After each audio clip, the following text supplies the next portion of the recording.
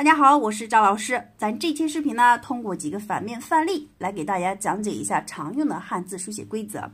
大家看一下，咱今天给大家举的反面范例呢，哎，他们在结构上都犯了哪些小错误？如何去纠正？如果你能全部找出来的话，说明你结构规律学的还不错。咱来看一下啊，大家也来看一下。首先，你看这个“豹”字，“豹”字，你看它什么问题啊？其实“豹”字的问题主要就是在于它主次不分，你有没有发现？哎，你看它横向撇捺也展开，横也放开，咱能这样写吗？其实大家注意，横向你只能放一个，你不能说两边都放。你看上面横也放，撇捺也展开，那你就很难突出主笔，明白吧？那你看到底是谁应该把谁放开，把谁收着呢？大家注意，撇捺展开，之前一再给大家强调的是吧？哎，遇到撇捺你一定要放，既然撇捺不能收，那就横收，是吧？所以咱应该把横写短，你看。哎，上面横写短，整个窄，然后突出主笔撇捺，是吧？哎，这是豹字啊，你看，哎，主笔撇捺要展开。那你看翻字是什么问题啊？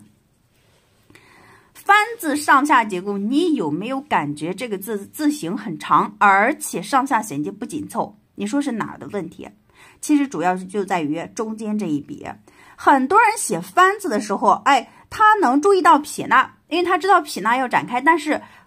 把这个中间这个竖就给它忽略了，中间这个竖咱是绝对不能给它写这么长的，要写短，然后下面的田字往上迎，哎，这样的话上下衔接它就比较紧凑了，一定要注意啊，哎，中间的竖是绝对不能写长的。那你看第三个是是什么问题？是字它是哎左右两边的收放关系没有给它哎展体现出来，这个左右两边它都有竖向笔画的时候要怎么样？左收右放，右半边的选针数是绝对不能收的，必须要展开。选针数往下伸展，其实它对于整个字来说还起到一个平衡重心的作用，所以它不能收，那就只能左边收。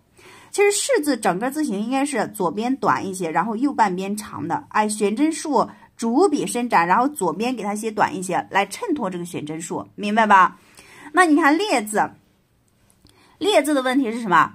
上下两部分的比例没有搞清楚，你像这种字都不要想，肯定是上面短底下长。上下结构的字，只要下只要下半部分有哎竖向笔画，那肯定要要稍微写长一些。哎，上下结构字其实大多数都是上短下长的比例啊，就好像人一样，是不是腿长好看一些，对吧？那我们现在来给大家改正一下啊，改正完了之后你来对比一下，你看是不是好多了？咱先来看这个“豹”字。大家看一下，你看“豹”字上面头部竖横折，你看横横，哎横竖竖，再来一个横。大家看一下上半部分整个其实是收的比较紧的，你不要给它写的太松散，然后横也不要写宽，然后你看撇往这展开，好捺画伸展出去。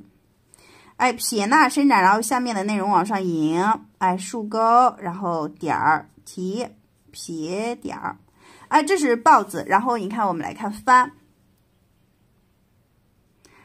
哎，小平撇，然后点儿撇往中间聚，注意这个横我们不要写太长，然后中间一竖，大家注意，中间一竖一定要写短一些。然后你看撇画往外展开，哎，撇低捺高，撇捺展开是没错的。然后下面的田字往上迎，你看，哎，上下衔接要紧凑。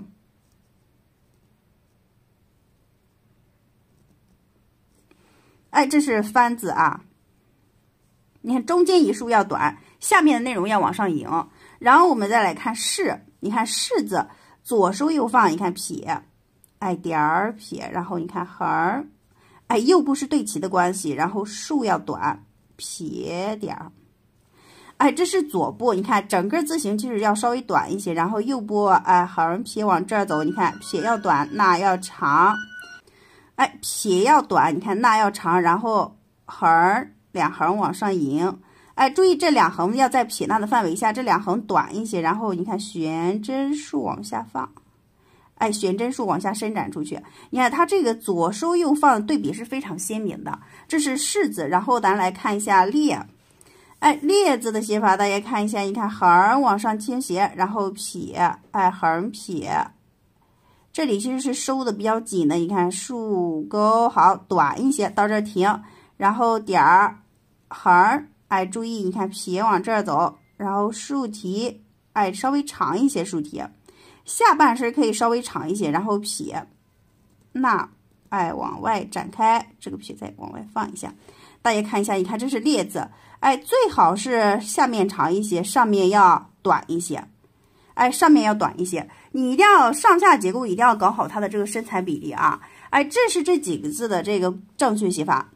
大家看一下，一定要能够熟练的掌握常用的书写规则，你才能真正的练好字。好，咱这期视频呢就给大家讲解到这了。